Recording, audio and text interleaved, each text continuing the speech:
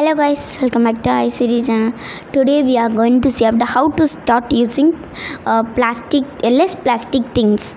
Bring reusable bags for groceries and everyday shopping. Use a a SS water bottle stainless steel it uh, durable uh, it keeps uh, drinks uh, cool or hot.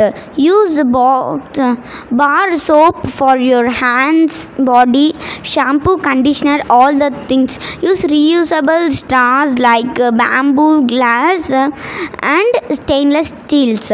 Ditch plastic lighters use ma- matches sticks reusable or electric lights. Buy food in glass jar and then reuse them for your storage and organizations. Thank you for watching